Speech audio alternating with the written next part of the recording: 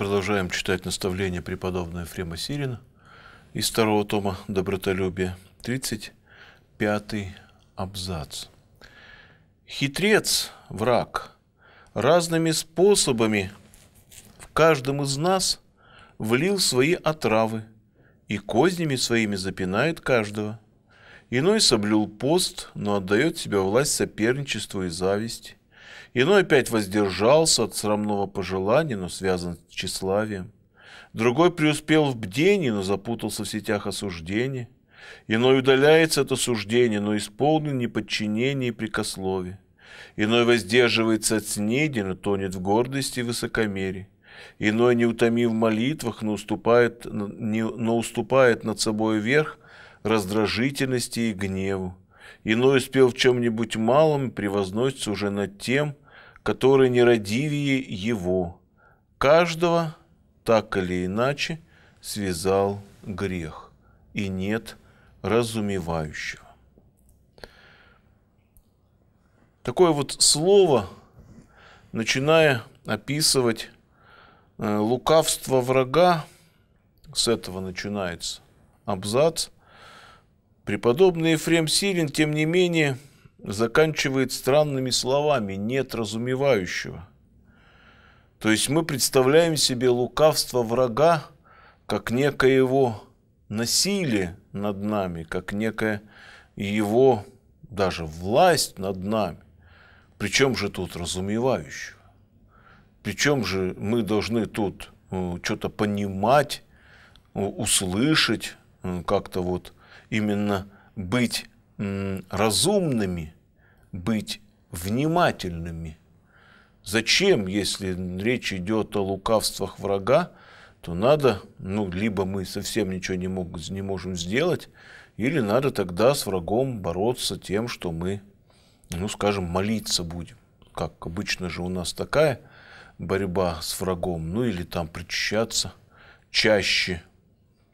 Однако, сколько бы ни причащались, мы все равно э, проваливаемся в какой-нибудь смертный грех, либо не можем простить, либо всех осуждаем, либо непокорны э, власти, либо еще что-то вроде бы, как бы должен нас враг, наш враг быть побежденным, мы же причащаемся, не получается, усиливаем молитвы, молимся, читаем псалтырь или акафисты, или каноны чуть ли не по 20 часов в сутки, а все равно то э, превознесемся, то осуждаем, то э, учим, то завидуем, то э, гнев нас мучит, то еще что-то. Опять не можем исполнить заповеди Христов. Вот, как-то не получается у нас с врагом бороться. А ведь, как ни странно, вроде начиная абзац с утверждения э, козни власти и силы врага э, Ефрем-то заканчивает словами о разумении, о том, что мы должны что-то понять и что-то уразуметь. В чем же дело? Враг, он, конечно, нас крутит. Ну, собственно, что ему делать-то еще остается? Он крутит нас, но не потому, да не будет этого. Не потому, что Он имеет над нами власть. Не потому, что Он там захватил эту власть над нашей душой. Нет, Христос нас не отдает врагу. Он крутит нами потому, что мы невнимательны к себе. Мы не внимаем к тому, что с нами происходит. Ну, хотя бы просто вот самая простая вещь вот в голову сейчас пришла. Э, просто каждый день встречаясь с этим, человек, любой, может быть это священник, может это э, простая бабушка, она говорит, вот я думаю, и начинает говорить какую-то мысль, которая ну, по сути дела, отвлекает ее либо от веры, либо от молитвы, либо от всего чего-то еще э, доброго, правильного, благочестивого. Вот я думаю.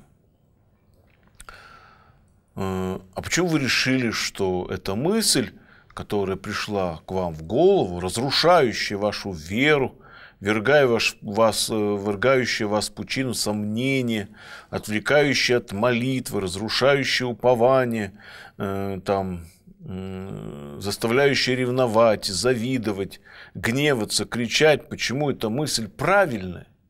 Надо же ее рассмотреть, но любой человек убежден, что если мысль, это э, образ, картинка находится в его голове, значит она его собственная. То есть он невнимателен к себе, просто не внимает тому, что с ним происходит.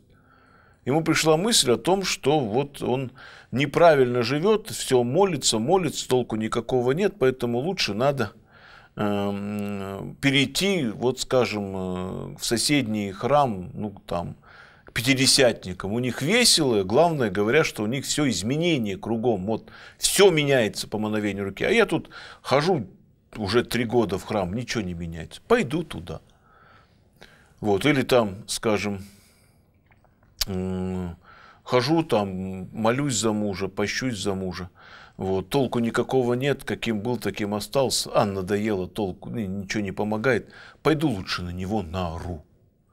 Вот, наорала, развелись, все хорошо, сижу одна. Вот, человек э, должен быть э, внимательным по отношению к тому, что с ним происходит, внимать своей собственной духовной жизни, своему сердцу. Об этом ну, скажем, очень много написано в Священном Писании. Э, апостол Павел пишет Тимофею, вникай в себя и в учение. Или, скажем, блюдите, как опасно ходите. Или э,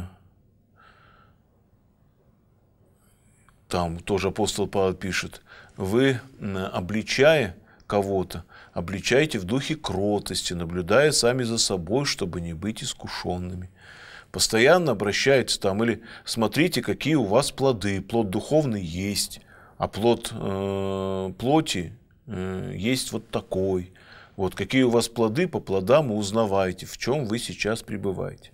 Вот это в наблюдении за собой, там, образы ветхого и нового человека – и прочие, э, скажем, Писания апостола Павла или даже, скажем, слова Христа, там, кто хочет идти за мной, э, отвергнись себе, возьми крест, там, и прочие слова, они предполагают, что человек должен наблюдать за собой, по какому пути он, например, идет, по широкому или по узкому. Вот, исполняет он заповеди Христа или не исполняет заповеди Христа. Вот любит он врагов, скажем, молится за обижающих или не молится. Он же всегда должен не просто плыть по, по течению, как-то рефлексировать над, над тем, что, во что он верит, соответствует ли его вера заповедям Иисуса Христа. Э, тоже апостол Павел пишет, наблюдайте, верили вы или не в вере. Может, вы потеряли уже веру, осталось только одно э, какое-то рассудочное убеждение – в том, что Христос есть. Так ведь было и у всех граждан, э, русских граждан Российской империи до революции. Они тоже знали, что Бог есть. Это ж не помешало им совершать, отречься от Бога или совершать самые страшные злодеяния. Почему мы невнимательны? Потому что, э, в общем-то, мы кое-зачем наблюдаем, конечно. Нам тоже мы же не совсем э, глупые люди, мы наблюдаем, мы наблюдаем, мы внимаем, э, но только за тем, что мы делаем доброго, хорошего. Не за тем, что происходит в нашем сердце, не за тем, что происходит в нашем уме, не за помыслами, которыми входит, не за картинками, не за страстями. Мы наблюдаем за тем, что мы делаем хорошего вот за теми самыми, э, тут разные добродетели перечислил Ефрем Сирин, вот, за то, что мы постимся, за то, что мы боремся с блудной страстью, за то, что мы э, бдим или э, очень много молимся, или, скажем, э, воздерживаемся от пищи, или там молчим, не осуждаем никого-то. То есть есть некая добродетель, которую мы делаем, и мы очень замечаем за тем, что мы ее делаем. Мы невнимательны к себе, потому что внимательны каким-то своим положительным качествам. Мы их начинаем взращивать и культивировать. Конечно, в, собственно, большом вот каком-то глобальном евангельском смысле слова это и есть фарисейство. Ведь и фарисеи тоже, ведь, ну, мы, конечно, привыкли так э, в нашей какой-то вот повседневной бытовой речи э, потоки мысли, потоки сознания считать себя фарисеев негодяями но вообще-то они исполняли очень многие заповеди, очень многие. Ту же самую заповедь о субботе, скажем, заповедь о десятине, заповедь о количестве молитв, заповедь об омовениях, заповедь о э, посещении храма, о том, как в храме должен себя вести, и много чего они исполняли и очень себя за это уважали. Да, они исполняли не все, и более того, э, чаще всего исполняли самое неважное в законе. Но они же исполняли-то все ж таки положение закона. То есть исполняли-то они не расписание своей там э, штатное расписание, должностную инструкцию. Они исполняли заповедь Божию, как же им при этом не гордиться -то? Если человек, скажем, постится регулярно среду, пятницу, соблюдает все посты, вот, причащается только после там трехдневного поста, то есть четверг, пятница, суббота, когда он причащается. Ну так ему вот видится. Ну как же ему это? Ну это же добродетель. Ну как я могу себя за эту добродетель не уважать? Ну как я могу вообще там э, э, игнорировать, что все вокруг меня этот пост нарушают, а я нет? Я, ну, ну хоть что вы мне говорите? Но это добродетель, и добродетель редкая. Я, конечно, не замечаю о том, что от меня дети прячутся, когда я домой прихожу. Или, скажем, э, муж старается убежать в гараж и там отсидеться, когда я из храма прихожу. Да и в храме там на мое место никто не посмеет стать, потому что все знают, что это мое место. Сам батюшка издалека кланяется мне, потому что боится, как бы я не обличила все его невоздержание, которое у него есть. Вот. Ну и что? Так это ведь за дело. Я ведь, по сути это дело, достойно уважения. Потому что я соблюдаю полностью пост. Я так и подхожу, вот когда там перед причастием, вот там молитвы читает к причащению, служба, там литургия закончится, там минут пять будет причащение, подхожу и говорю, вот перед иконой Господа Иисуса Христа, благодарю Тебя, Господи. Благодарю, нужно благодарить за все. Благодарю Тебя, Господи, за то, что я в состоянии соблюдать пост и в среду, и в пятницу, и все Твои четыре назначенные Тобой посты, и даже вот перед причастием Ты сподобил меня попаститься. Благодарю Тебя, Господи, что я не такая, как все вот эти невоздержанные, порабощенные чревом люди. Особенно как тот пьяница, сидящий в притворе, плачущий. Вот. И все, и пошел причащаться, а как же? Нормально, и мне в голову не придет, что я сделала именно то, что э, получила осуждение от Господа. Просто не придет, потому что я вижу же, что это добродетель. И благодарю за эту добродетель Христа, не кого-нибудь другого. Ну, у кого-то можно по-другому взять, кто-то там ни одной храмовой службы не, не пропускает, кто-то, скажем, э, терпит мужу слово против ни одного не скажет, кто-то там молится целыми ночами. Да у кого какие добродетели. Вот особое внимание к этой добродетели и делает нас невнимательными к духовной жизни, невнимательным к самому себе. Мы так гордимся собой – вот, за то, что мы какую-то ту или иную добродетель исполнили, что не замечаем больше ничего. И всегда найдем, что наша добродетель в сущности редкостная, что мы немного знаем людей, которые столь же добродетельны, как и мы. Вот, и в сущности весь мир для нас очень прост. Есть добродетельные люди, я, ну и подобные мне, и прочий род грешников, грешников, которые вот э, вокруг меня находится. И это, скажем, э, гордыня, внимание, самомнение в отношении какой-то своей добродетели может поглотить, всосать человека всего. Ну вот объясните мне, скажем, вот человек, ну, э, воздерживается в постные дни, не позволяет себе ничего скоромного. Это хорошо? Хорошо. Человек э, кушает, э, ну ладно, не будем прокушать, хотя это самый нейтральный. Вот, э, скажем, э, мужчина хранит верность своей жене. Это хорошо? Хорошо. А все кругом нет. Все кругом изменяют, жены, мужья, мужья, жены. А вот он хранит, прожил там 30 лет, сохранил верность своей жене. А вокруг все его друзья, все до единого, они изменяли своим женам. Ну, когда-то жены знают, да простили, или просто уже деваться некуда. Когда-то и не знают, но он как друг знает, они по секрету ему рассказали. Вот. И он вот так вот живет. Что он нет, а они грешники. И он, естественно, знает, что он добродетельный, а они нет. Ну ладно, если они обыкновенные грешники, они же, скорее всего, тоже в церковь ходят, тоже причащаются, тоже исповедуются. Вот. И он понимает, что они грешники, а он, вот нет, он хранит редкий дар верности своей жене. А они грешники. И разве э, хорошо грешить? Плохо. Разве плохо хранить верность своей жене? Хорошо. Вот и все.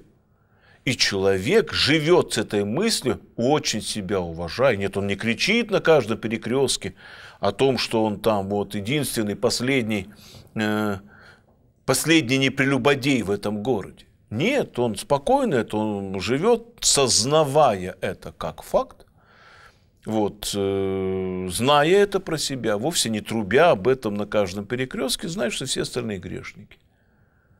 И вот этот вот грешник, который изменяет свои, изменял когда-то своей жене, придет и скажет, слушай, а что ты э, вот в храм приходишь, на колени не встаешь?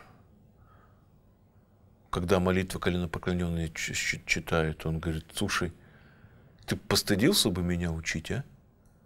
Ты сам-то как жил-то, что не знаешь, что ли? Сколько раз со своей жене изменял? Ну вот изменял, вот стой на коленях. Тебе положено каяться. Я уж как-нибудь со своей жизнью сам справлюсь. Ну ладно, ладно. А что ты посты вот среду, пятницу не соблюдаешь? А зачем? Я и без постов могу хранить верность своей жене. А ты и постишься, а толку-то от твоих постов? Сколько смертных грехов-то наделал? Детям-то не стыдно в глаза смотреть? И все. У него море недостатков, смертных грехов. Он превозносится, осуждает, гордится. Он не чтит, не молится.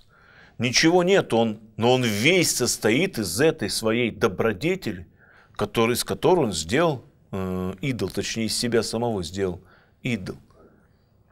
Вот. А почему? только потому, что он внимателен именно к своей добродетели. И так с каждым человеком, с каждым христианином, с каждым человеком, входящим в церковь. Не надо ничего делать, надо просто, чтобы человек увидел какое-то свое достоинство и стал внимательно к нему относиться. И даже со временем культивировать. То есть уже можно было бы, наверное, ну, скажем, как-то снизить пост или э, как-то вот э, по, иначе относиться к каким-то своим э, принципам. Но нет, он особенно, потому что говорит, чем ему гордиться? Чем ему, а, на чем строить свое превозношение над другими? И поэтому он выбирает эту добродетель и начинает вот с ней жить всю свою жизнь именно от этого, от этой закваски фарисейской, которая вот в этом самом и заключается, и предостерегал нас Иисус Христос. А почему, собственно, так? Ну что, грубо говоря, человек не видит своих недостатков, видит иногда, но в конце концов и Бог же никуда не делся. Показывает, да и на исповедь ходить-то надо ж.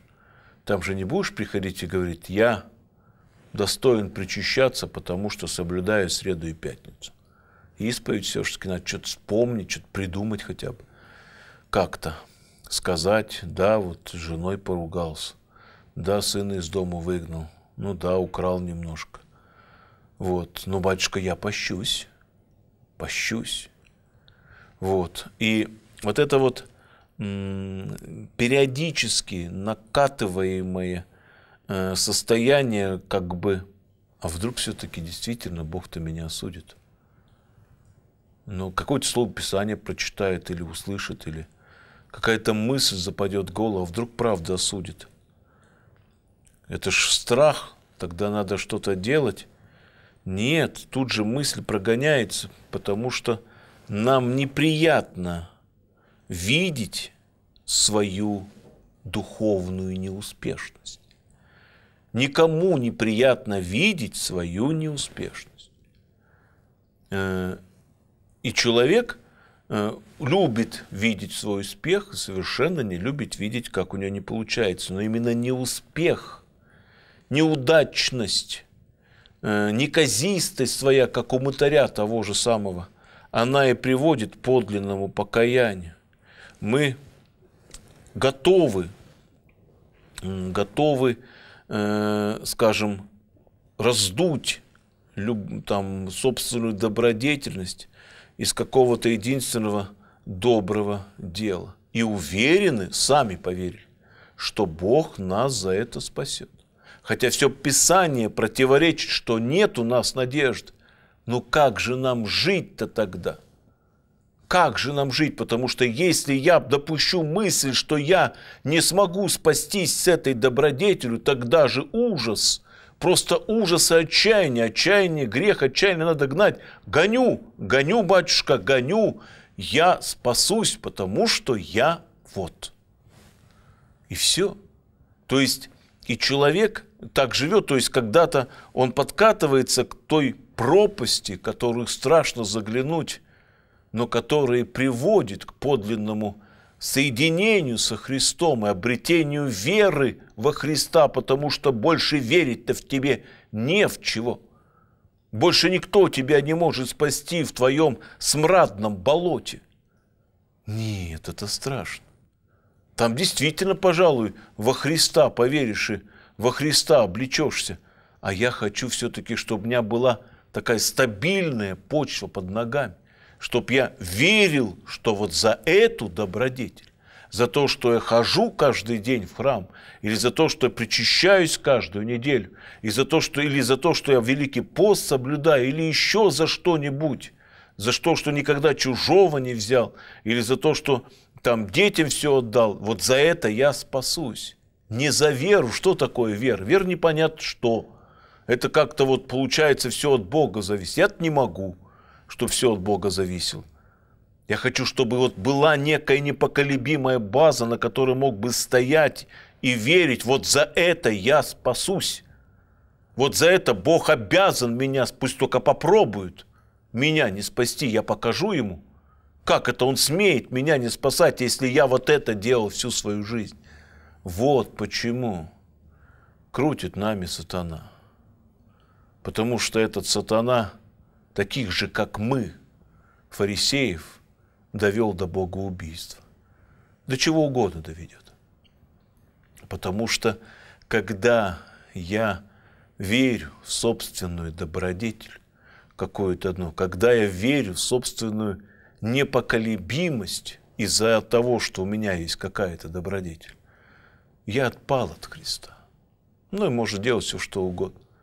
И дьяволу даже не надо со мной бороться.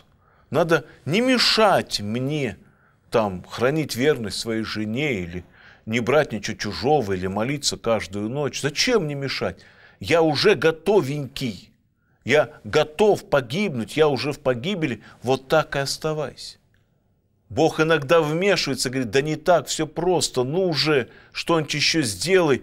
Но тогда я должен броситься в пропасть, где нет никакой опоры, кроме веры во Христа. Я боюсь, потому ничего не происходит.